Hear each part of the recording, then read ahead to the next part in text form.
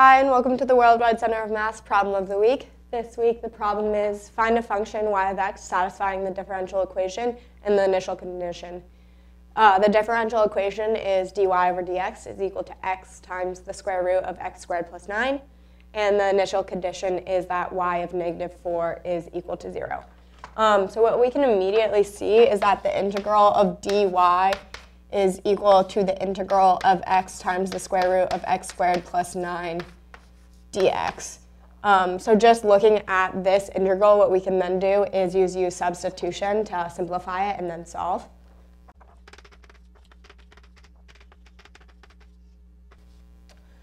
Um, so using u substitution, we can say that u is equal to x squared plus 9, um, this kind of term within the square root.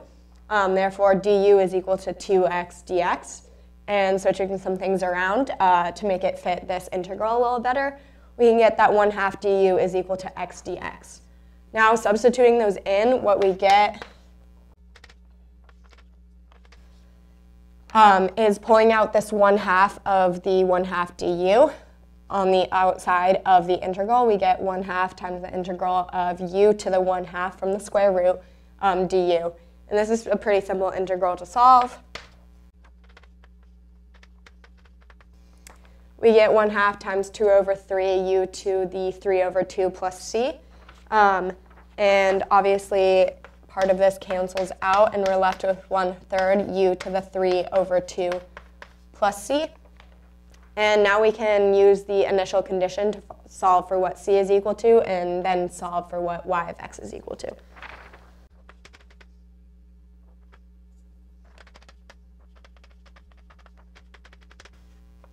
So we first substitute back in what u is equal to. So we get 1 third um, times x squared plus 9 to the 3 over 2 plus c.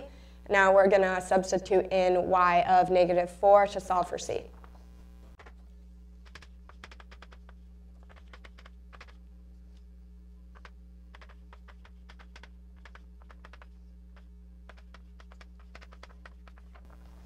So substituting in negative 4, um, what we get is 1 third times negative 4 squared plus 9 to the 3 over 2 plus c um, is equal to 0. Simplifying a little bit, we get 1 third times 25 to the 3 over 2 plus c is equal to 0.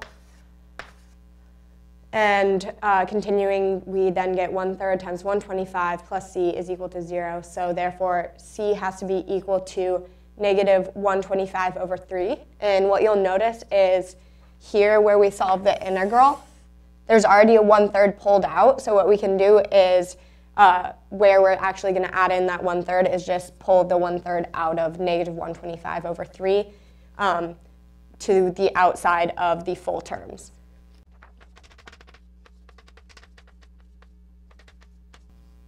So pulling the one-third out, what we're left with is that y of x is equal to one-third times x squared plus 9 to the 3 over 2 minus 125.